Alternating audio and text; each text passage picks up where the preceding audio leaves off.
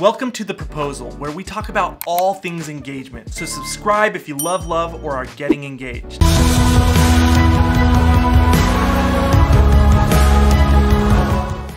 In this video, we cover the channel style diamond ring. The channel setting is a type of ring setting where stones on the band or shank of the ring are set along a track between two walls of metal. The stones are nestled against one another and not separated by prongs beads, or bezels as other styles like pave styles are. To talk about the channel set rings, we will talk about the pave style as well, because the two styles are different ways of setting diamonds on the ring band next to one another. In contrast to the channel set diamond, the pave style does use prongs and beads to secure accessory diamonds into place. Pave ring sets are commonly known to be more aesthetic or at least preferred than channel set. But of course, beauty is always in the eye of the beholder. But pave rings normally have a few setbacks, and the channel set's strongest advantages satisfy the weaknesses of the pave set. That being said, channel set can be very aesthetic and sometimes the ring design can look like it was meant for the channel set. The channel set diamonds, unlike pave set, have diamonds that are securely set in a channel. With pave, the accessory diamonds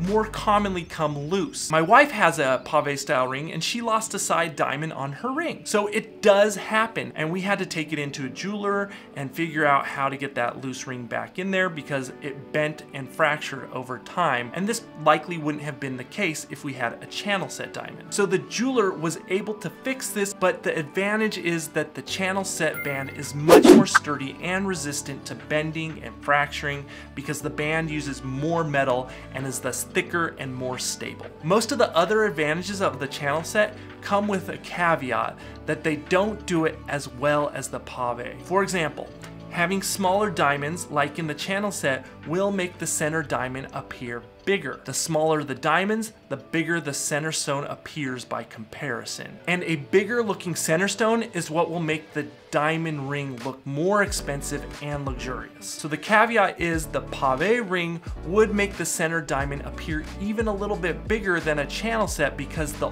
ultimate band thickness is smaller too with the pave. But the, once again, the pave is just less stable. So the channel set, once again, is a compromise of having a thicker band and more sturdy band and still having diamonds set in the shank of the ring. Before we go on to more advantages, if you're going to buy a diamond ring, make sure you get it from the links below this YouTube video, as it will save you hundreds to thousands.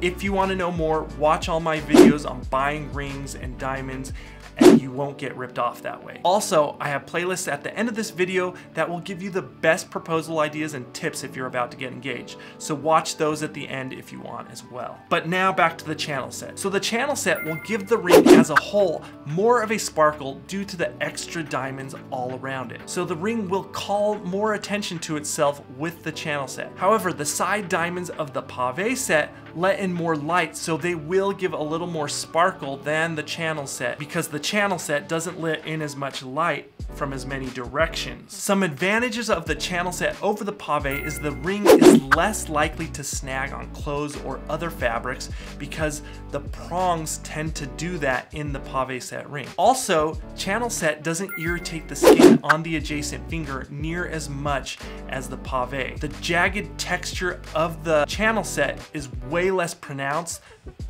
and so when it rubs on the finger next to it, it's way less abrasive and way less irritating than the pave will be. Now for the disadvantages. The biggest downside is that the channel set rings are very hard to keep clean. Dirt and buildup will get into all the crevices of the channel set, and so you'll have to have an excellent cleaning strategy to make sure that the ring looks vibrant and beautiful and doesn't look kind of dimmed from all of the dirt buildup in the channel set. Watch my video on how to clean diamond rings if you want more on that. Another disadvantage is that the side diamonds themselves are covered by more metal and so the side diamonds can appear slightly smaller than pave set diamonds. In general, they just hide diamonds more than prong settings, which may make them look a little dull to a more exposed diamond. Now, hopefully I haven't been too harsh on channel set rings, but another downside, just like pave actually, is that channel set rings are a little difficult to have resized. The more diamonds you have around the whole circumference of the ring, the more difficult and expensive it is to have the rings resized because they have to kind of replan and remap the whole ring to do it. Make sure you watch my videos on how to save on diamonds and rings. Click on the links below this YouTube video if you want to buy quality diamond rings and save a ton of money. Subscribe and watch one of these other videos now.